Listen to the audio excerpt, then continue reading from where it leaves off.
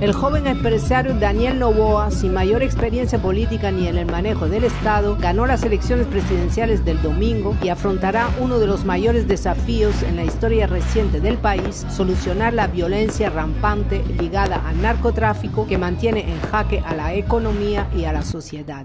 Su fin era devolverle una sonrisa al país, era devolverle la paz a un país, volverle a dar educación a la juventud, poderle dar empleo a la cantidad de personas que hoy en día lo están buscando, darle tranquilidad a las familias que hoy en día no pueden salir a la calle y darle progreso a un país que tiene todo para hacerlo, un país que tiene todos los elementos para ser un ejemplo mundial.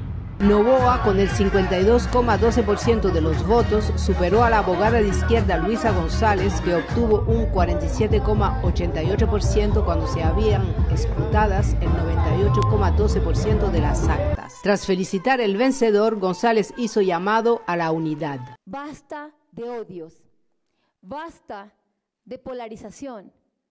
El Ecuador necesita sanar y cuenten con nosotros para un acuerdo común de patria.